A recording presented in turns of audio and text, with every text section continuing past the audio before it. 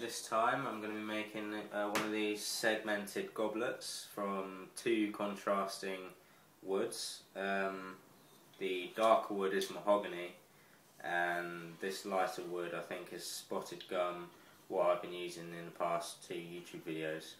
Um, first thing to make that blank is I just laminate two pieces of mahogany spotted gum together and the blank is 3.5 inches square. So each piece well 3.5 inches that way and then that right there is 1.75 inches thick and same there. So when it comes together it's 3.5 inches square. And uh, it's 8 inches long. Uh, the goblet will be 6 inches long and then 2 inches at the end is uh, the waste for me to screw into when I put it on the faceplate. So first things first, I need to go to the table saw and cut two pieces of wood um, to assemble the blank.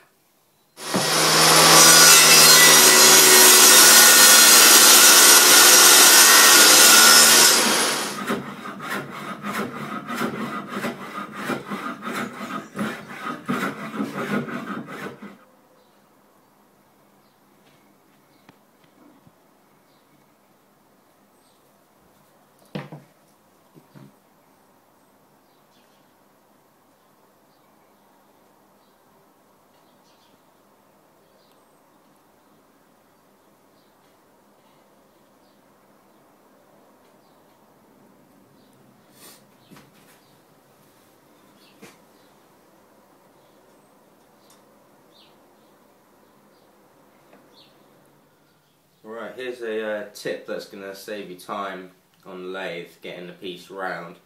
To knock off the uh, corners at 45 degrees uh, to give you basically an octagon, what you need to set your uh, table saw blade to 45 degrees and then rest that piece up on its side and then bring the fence over to where it just kisses this uh, side edge.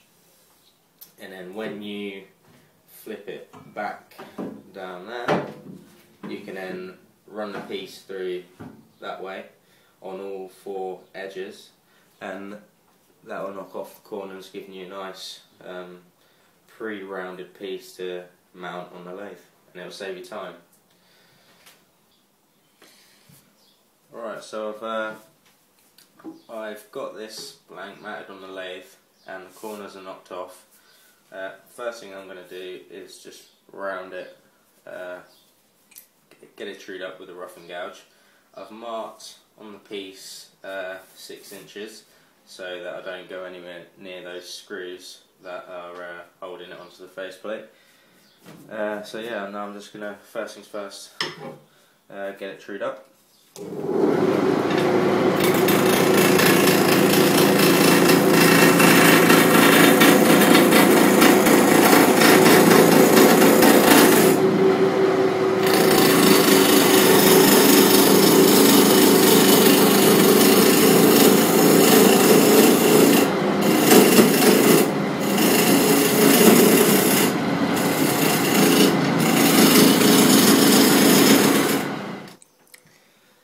Um, I did have a uh, paper template of the goblet design when I made this one, but I've uh, misplaced that and can't find it. So what I'm going to do is I'm just going to uh, offer that up to the lathe and mark transitions.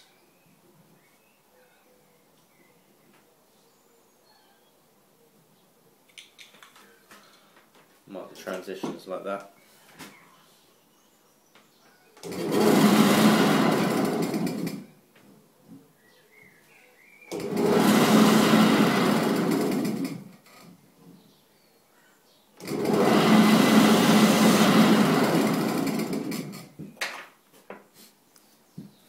And now I'm going to start shaping the uh, goblet itself, the uh, cup. Uh, I'm going to do that with a spindle gouge.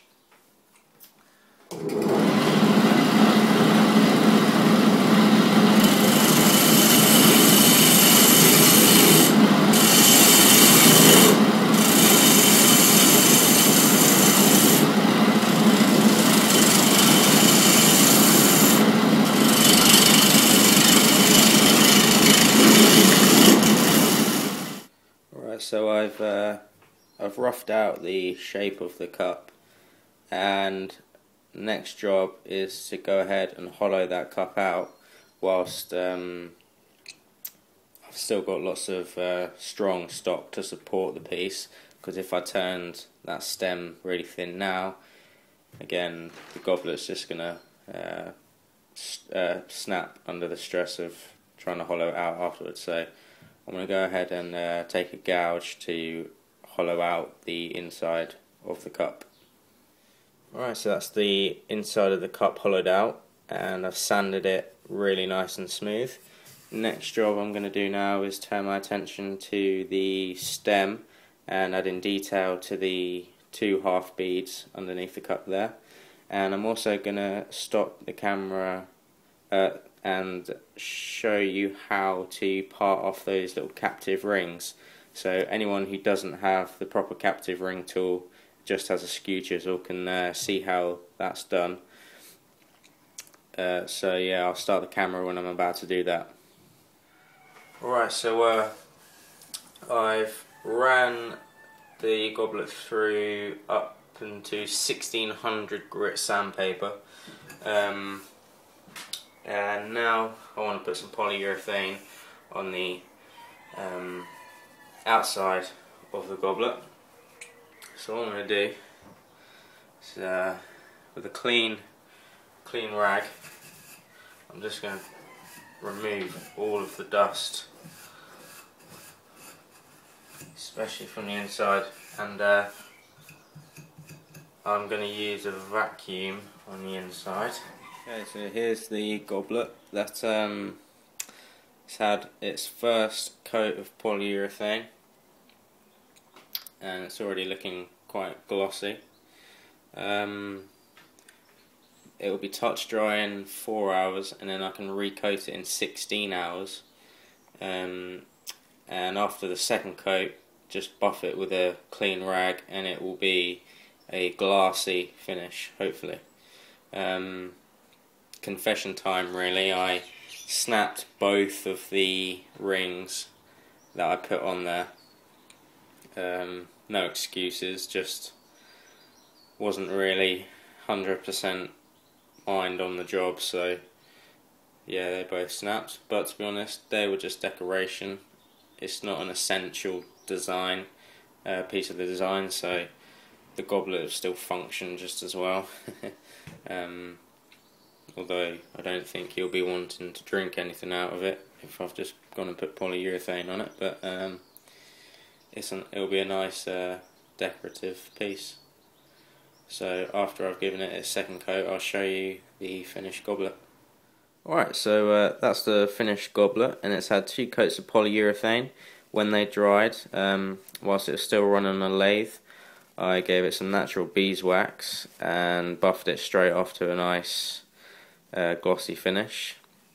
Uh, the next video I want to make is really um, how to form these little captive rings uh, without the proper captive ring tool just by using a skew chisel. So I think I'll do that um, for my next little video.